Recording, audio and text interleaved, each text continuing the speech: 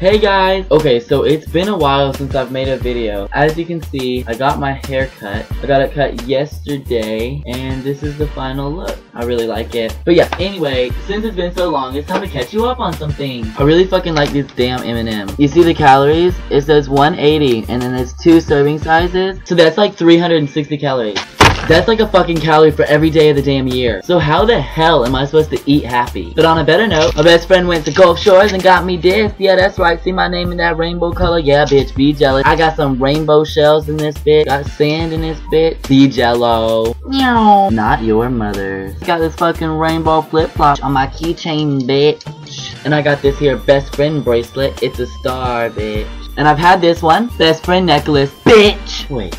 I just realized I said bitch a lot in this video. No discrimination towards bitches out there. I love you all, but if this helps you a little bit more to understand exactly what I mean by I love you, then great, and I hope you don't take any offense toward this. It's just how I feel, honey. But yeah, until...